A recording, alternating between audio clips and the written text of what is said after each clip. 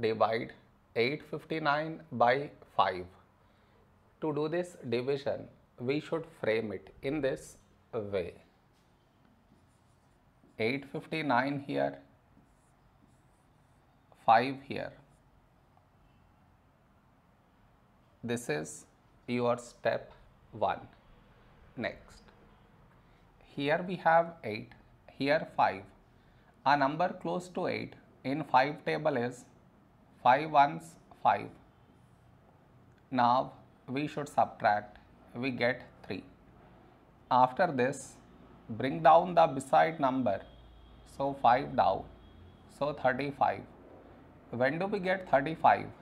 In 5 table, 5 sevens 35.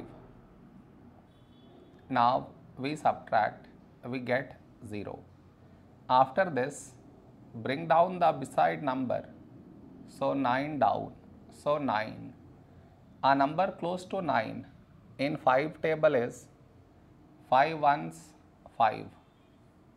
Now we subtract, we get 4. No more numbers to bring it down, so we stop here. This is our remainder, this is our quotient.